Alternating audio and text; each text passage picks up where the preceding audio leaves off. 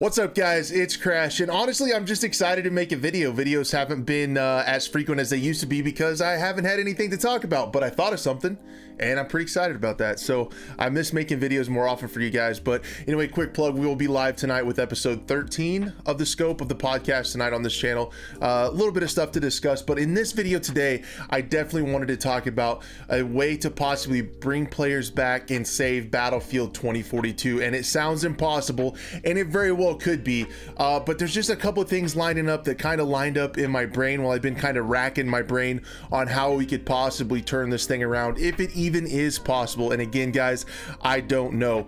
But one of the things I can I've thought about is how Portal could be used to turn Battlefield around. Now we we know Battlefield is in a rough spot. Actually, they have been sub 1,000 players on Steam charts, and I know a lot of people say, well, that's not you know that's not only the players. There are people on Origin, there are players on the consoles, and it doesn't cover those. That is true. However, if we look at search volume for YouTube search and also web search on Google Trends, interest in the game is lower or as low as when we didn't even know what the game was to search for. So next to nothing. It is in the worst state, in my opinion, that I've ever seen Battlefield um, as a fan, and, and it's sad to see. And I try to think of these things as a way to fix the game because we know that they probably made a lot of their money at the beginning. You know, the trailers were some of the most viewed trailers of the the trailer was actually according to gameindustry.biz was actually the highest viewed game trailer of 2021. So I thought that was pretty crazy. And then the gameplay trailer comes in at number 15, but what I would what I would think the path like literally probably the only path that I see is Portal saving this game. We know, uh, according to developers on Twitter, that is still being worked on by developers at Ripple Effect in uh, the former DICE LA studio.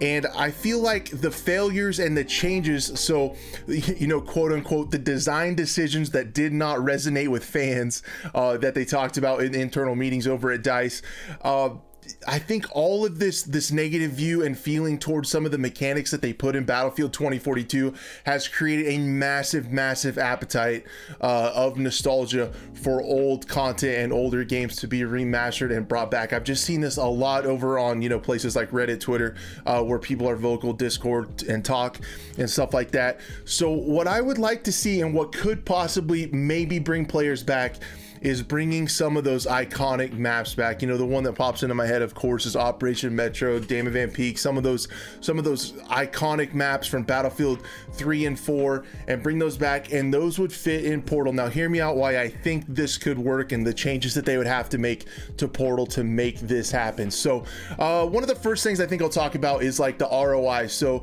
so we think that you know they they made a lot of money right off the rip based on those trailers and stuff uh, from Battlefield 2042 why do they need to do this? Well, I would argue that the ROI would come from Portal. If you made Portal big, uh, more all-encompassing that it could carry on to future titles so that that draw that player base that you could possibly build off of could carry you into the next battlefield so that's what i'm hoping because let's be honest this has to make sense this has to make money uh, from from a monetary standpoint money from a monetary standpoint, nice. It has to make money if they're going to put money into it over at EA. That's that's what they do. They make money. So if they could be convinced that this would carry players on to their next titles and kind of be a baseline insurance uh, for for new players, I think that would be great.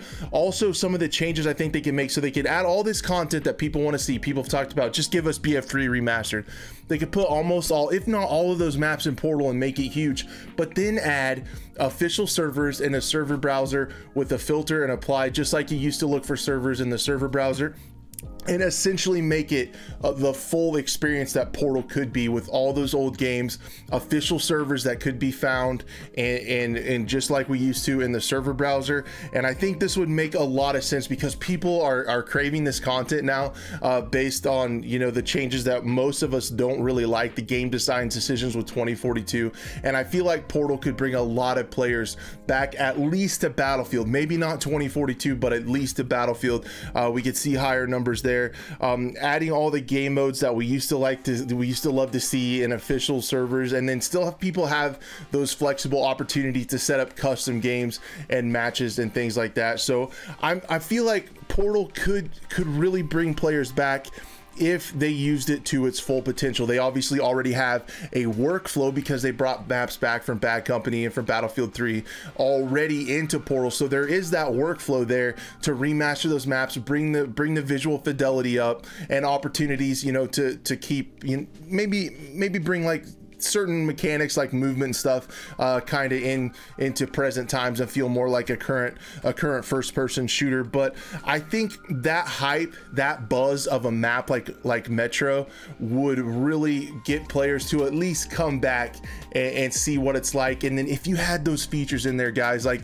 if you made portal to where you could just look at a server browser and and you know sort and filter by the game modes you wanted to play and there were a bunch of dice official servers set up ready to rock with full xp progression.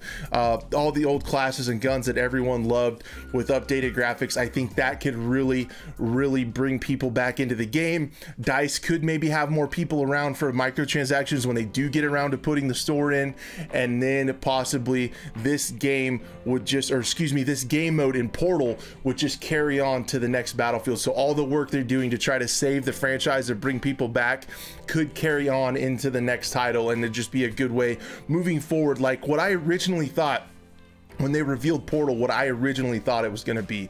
I originally thought it was going to be uh, this big, massive thing with all the battlefields coming together, and there just hasn't been the content there. But with the large appetite, appetite, excuse me, for nostalgia, I think it really could be a way to bring players back. But anyway, guys, hopefully see you live tonight around probably 4:30 to 5 Central Time on this YouTube channel. I can't thank you enough for sticking around and watching some of these videos. I just I appreciate it so much. Thanks for watching, and I'll hopefully see you next time.